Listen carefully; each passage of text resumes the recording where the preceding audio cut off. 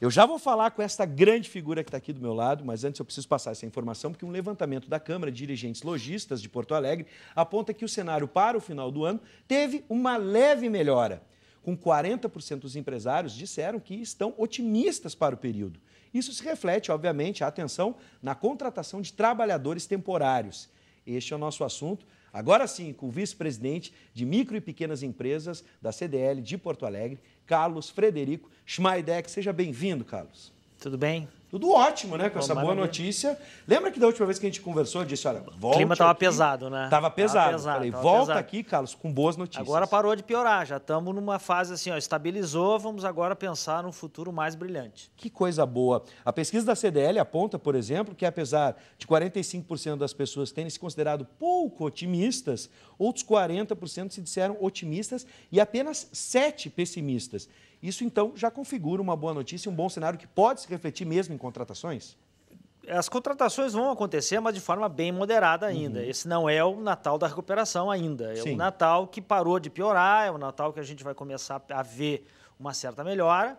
Uh, não vamos ainda né, ter o brilho dos natais antigos, mas já temos uma ideia de que vai ser bem mais uh, palatável, vai ser Sim. um Natal mais, mais confortável, digamos assim. Está todo números. mundo ajustado, já Sim. as coisas já, já, já Eu tenho alguns números aqui só para ilustrar sobre contratações, né? Uh, a mesma pesquisa da CDL aponta que 16% confirmaram que pretendem contratar funcionários. Outros 11, dois ou mais. Ou seja, o primeiro contrata mais de, de dois funcionários, dois ou mais, e as contratações já começaram? Qual é o melhor período para quem está nos assistindo? Já começar agora a enviar currículos, procurar os lojistas? É, exatamente. A época de, de, de começar a pensar no assunto agora é exatamente agora no começo de novembro. Uhum. Você vai ter que uh, selecionar, contratar, dar um treinamento, para começar dezembro com, com todo o gás e funcionando direitinho. Então a época de, de procurar é agora. Sim. É a época que nós, lojistas, estamos contratando, estamos verificando quem é bom, quem funciona, onde tem lugar para botar, vamos botar a gente, é agora. Essa é a hora Sim. boa. Bom, se você quer alguma dica do Carlos para né, mandar o seu currículo, entrar em contato com lojistas, como até mesmo se apresentar, que tipo de expertises hoje são importantes dentro do mercado, você pode mandar para o 9588-2374, agora com 9 a mais. Durante 15 dias valem os dois números. Então, seria 995 88 23 74. Estou pegando a mãe aqui. Esse é o WhatsApp, você manda perguntas para a gente. Agora, para entender esse mercado, Carlos, por exemplo, o temporário, tá? Ele é contratado numa empresa. Eh, o mercado, os lojistas, por exemplo, eles podem trocar e efetivar esse temporário, às vezes que traz resultados, por exemplo, na área podem, de vendas, podem, melhor do que outro? Pode. Se, se você, de repente, se, dá, se depara com um funcionário que uhum. se mostra mais profissional, mais sério, é, mais comprometido com a empresa, é, ele pode ser candidato a substituir um outro que não tem esse mesmo empenho. Sim. Não tem a menor dúvida. Se se, se, se o cara é bom, a gente gosta mais de ficar com o melhor do que ficar com outro que não é o Parece bastante óbvio, mas é... é... que às vezes o temporário fica com aquela não, ideia de, ah, o temporário, temporário, tem que ter fé. Primeiro ele tem que, ser, tem que entender o que, que ele está fazendo uhum. e como é que ele tem que se comportar. Ele tem que se comportar com seriedade, ele tem que ir ali é, é, verificar quais são os valores da empresa, o que, que esperam dele e fazer o que se espera dele. Sim. Ele não vai lá é, exclusivamente para ganhar um salário, ele vai lá para prestar um serviço é uma contrapartida e essa contrapartida tem que ser honesta de ambas as partes. Sim. Se ele fizer um bom trabalho, vai repercutir. É porque aí passa aquela ideia de, tipo, ah, eu sou temporário, eu vou ganhar mesmo, fico só aquele é... tempinho, eu sei que eu vou embora. Faz corpo mole e, e tal. Aí fecha não é portas, um bom né? negócio, né? não é um bom negócio. Não é um Nós bom... temos um, um desemprego Sim. de 10 milhões de pessoas. Uhum. Para se destacar agora, o cara vai ter que ser um pouquinho mais esperto. Ou já deu algumas dicas aí, já deste algumas dicas né, do que, que os empresários procuram, mas a gente pode enumerar hoje o que, que seria mais interessante, especialmente na área dos lojistas, por exemplo, é boa comunicação, o que, que se valoriza hoje? O, o, a seriedade no trabalho, quer dizer, uhum. o cara chega na hora, o cara é, é sabe o que está fazendo, ele, ele se empenha, ele, se dá uma missão, ele cumpre a missão. É, isso é uma coisa absolutamente fundamental, mas é, apesar de ser tão óbvia, não acontece no, no dia a dia, no normal. Sim. É, a principal coisa é assim, ele tem que entender o que a empresa espera dele. Uhum. Entendeu? E, e, e, entregar o que ele foi contratado para fazer. Sim. Pergunta, não tem, tem dúvida do que, ah, como é que eu tenho que me comportar, o que, que eu tenho? Pergunta. certamente vão lhe dizer, vão lhe informar como é que ele tem que se, se comportar. Se ele fizer isso, ele vai estar bem, muito bem. Não Sim. tem a menor dúvida. Bom, a gente acabou de passar pelo Enem, né? Isso. E aí ficam sempre aquelas questões que evidenciam né, que a área da educação no Brasil ainda é muito frágil, pessoas que têm, às vezes, dificuldade de ler, escrever ou até mesmo interpretar um texto. Né? E até mesmo matemática, que sempre é difícil é. para todo mundo. Né? E, e, esse tipo de expertise é. O nosso problema maior, por incrível não é esse. Não é esse. Esse é um problema, evidentemente, Sim. que a pessoa, se chegar lá, não sabe redigir, não sabe fazer conta, etc. e tal, é, é complicado. Uhum. É, mas o nosso problema maior é de seriedade, é de postura. Sim. A postura, hoje, ela, ela é responsável por 80% das demissões. A, a má postura do funcionário é responsável pela maioria das demissões. É o cara que não sabe como se introduzir na empresa e como o que tem que fazer dentro da empresa. Sim. Pode então, dar alguns tá exemplos ali, só para a gente ilustrar? Não, o cara que está ali, por exemplo, uh, uh, e, não, e não, não atende bem, uh, não tem um sorriso. Por exemplo, no meu caso, que é comércio, né? ele uhum. não atende bem, não, não chega no horário, se veste mal, grudado no WhatsApp, no telefone. Sabe, esse cara não vai funcionar. Sim. Ele precisa ter uma seriedade, uma expertise que, e às vezes acontece que ele, eh, ninguém explicou corretamente para ele como ele deve se comportar numa empresa. Tem. Às ah, vezes, agora às vezes a gente tem que sentar Sim. e fazer o beabá e dizer, meu, principalmente o pessoal novo, assim, estagiário ou o pessoal que é temporário, a gente tem que sentar e, e, e começar do básico. Você tem que se comportar assim, você tem que chegar no horário, você tem que se vestir bem, você tem que tratar bem o cliente, você tem que fazer, etc. Tal. Depois você vai mostrar a parte técnica, uhum. onde fica um produto, o que, que se faz com ele, como é que tu demonstra, etc.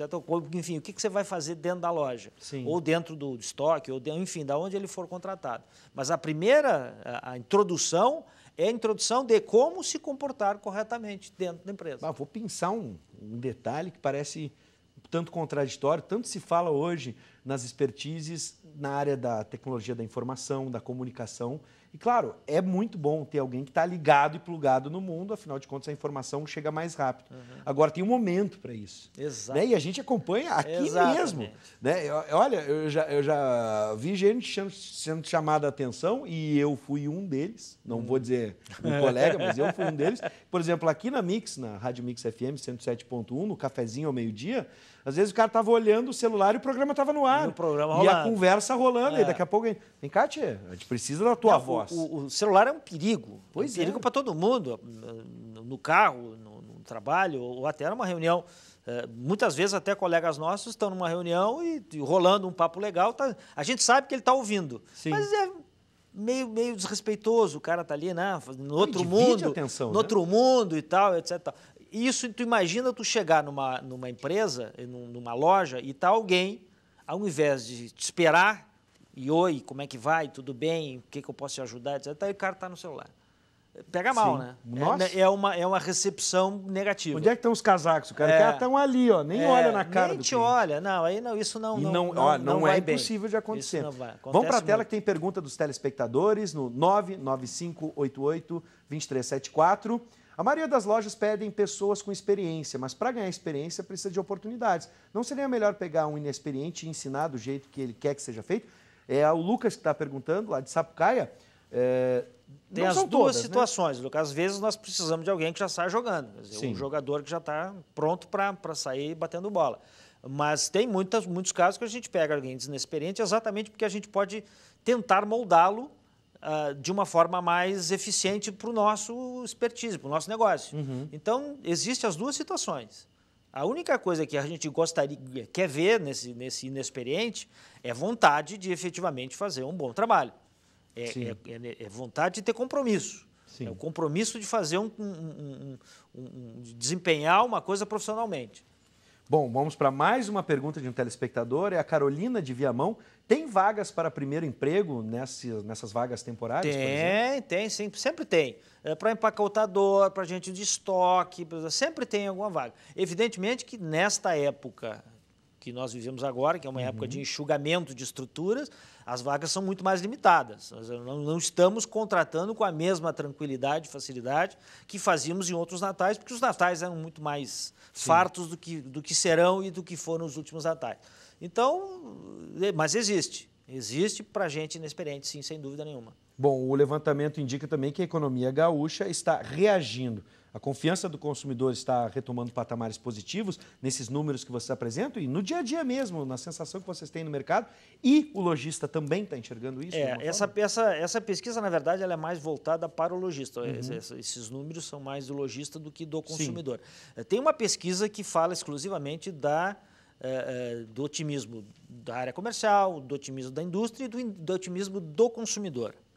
O otimismo do consumidor está abaixo da linha do, do neutro, ele está ainda pessimista, pela situação toda que Sim. nós passamos.